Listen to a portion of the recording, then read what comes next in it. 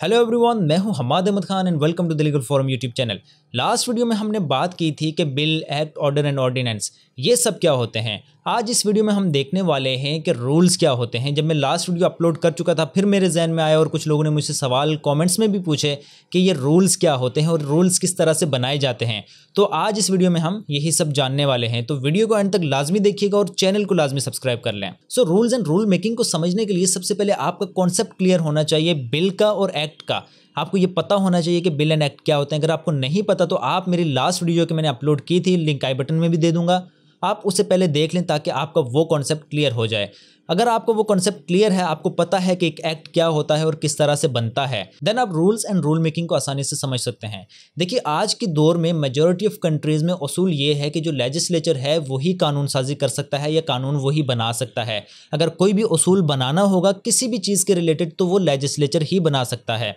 और normally legislature जो कानून साजी करता है, जो लॉज बनाता है, वो एक्ट्स की सूरत में बनाता है। एंड कॉन्स्टिट्यूशन ऑफ़ पाकिस्तान के तहत कुछ जो है, वो ऑर्डिनेंस की सूरत में भी कुछ लॉज इन्फोर्स किए जा सकते हैं फॉर टाइम बिंग लेकिन जो ये रूल्स हैं, ये थोड़े से डिफरेंट होते हैं। इन रूल्स को समझने के लिए हमें कॉन्सेप्ट समझना होगा प्राइमरी लेजिस्लेशन का एंड सेकेंडरी लेजिस्लेशन का। देखिए primary legislation and secondary legislation in it एक बड़ा टॉपिक है जिसपे शायद मैं आगे चल के वीडियो भी ले लेकिन इस वीडियो को समझने के लिए, इस वीडियो की हद तक आसान ज़ुबान में अगर समझा जाए तो प्राइमरी लेजिस्लेशन वो होता है, जैसे कि जो एक्ट्स पास होते हैं, उनकी जो प्रोविजंस जो मेन प्रोविजंस होती हैं, जिनमें पार्लियामेंट में डिबेट की जाती है और पार्लियामेंट उनको अप्रूव करता है, वो प्राइमरी लेजिस्लेशन कहलाती हैं जो मेन कंटेंट होता है किसी भी लॉ का। जो प्रोविजंस होती हैं, वो प्राइमरी लेजिस्लेशन होती है। लेकिन ज़रूरी नहीं है कि सारी डिटेल्स हमेशा प्राइमरी लेजिस्लेशन में आएँ। हर एक्ट में कुछ ऐसी डिटेल्स होती हैं जो कि बाद में डाली जानी होती हैं, जैसे कि वो एक्ट कब से इन्फोर्स होगा, या कोई अगर टेक्निकल प्रोविजंस है तो उसमें क्या क्या जो न्यूमेरिक वैल्यूज़ होंगी, कोई नंबर्स होंगे तो ये सारी चीज़ें कभी कभी बाद में भी डाली जाती हैं, जो कि सेकेंडरी लेजिस्लेशन कहलाती है। यानी additional information to the primary legislation is secondary legislation जैसे कि हम अक्सर देखते हैं कि शेड्यूल्स होते हैं एक्ट्स के साथ, जिनमें कुछ पर्टिकुलर्स होते हैं, कुछ इन्फॉर्मेशन ऐसी स्पेसिफिक होती है जो कि प्राइमरी लेजिस्लेशन ये जो एक्ट की प्रोविज़न है, उसमें नहीं दी गई होती, लेकिन उस चीज़ को सप्लीमेंट कर रही होती है।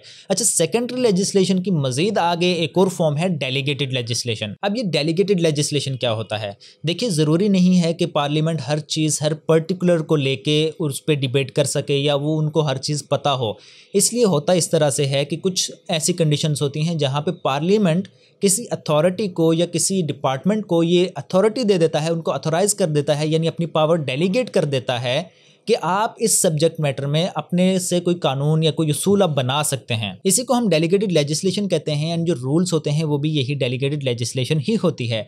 यानी जब पार्लियामेंटेरियन पार्लियामेंट में एक एक्ट बना लेते हैं, उस एक्ट की कुछ प्रोविजंस जो कि प्राइमरी लेजिस्लेशन होती हैं उसमें ये कहा जाता है कि किसी डिपार्टमेंट के पास उसको स्पेसिफाई करके या किसी कमेटी के पास उनको ये इख्तियार दे दिया जाता है, अपनी पावर डेलीगेट कर दी जाती है कि वो अपने लिए कोई रूल्स बना सकें, यानी असूल बना सकें। अब इसका मकसद ये होता है कि ज़रूरी नहीं है कि पार्लियामेंटेरियंस हर उस चीज़ से आगा हों जिससे जो कंसर्न ऑफिशियल या कंसर्न डिपार्टमेंट है वो आगा है। हर टेक्निकलिटी से पार्लियामेंटेरियंस आगा नहीं हो सकते। And Pakistan is very unfortunate कि यहाँ पे जो अक्सर पार्लियामेंटेरियंस हैं, वो कोई ज़्यादा पढ़े लिखे भी नहीं हैं। तो इसलिए पावर डेलीगेट कर दी जाती है। अब मैं यहाँ पे रूल्स को मजीद समझने के लिए आपको एक एग्ज़ाम्पल देता हूँ। For example constitution of Pakistan जो है, वो सुप्रीम कोर्ट ऑफ़ पाकिस्तान को क्रिएट करता है और उसकी कुछ जो आउटलाइन है, वो हमें बताता है कि उसमें जजेस क्या होंगे जजेस कौन उसमें हो सकते हैं एंड उसका फ़ंक्शन क्या होगा। लेकिन कॉन्स्टिट्यूशनल जो प्रोविजंस हैं, वो बहुत ज़्यादा डिटेल में नहीं जाती, यानी कि हर माइनर डिटेल को कवर नहीं करती। इसके लिए प्रोविज़न ये है कि सुप्रीम कोर्ट अपने रूल्स बना सकती है subject to any other law यानी अगर कोई लॉ होगा तो वो लॉ फॉलो किया जाएगा जो पार्लियामेंट किसी एक्ट की सूरत में बनाएगा।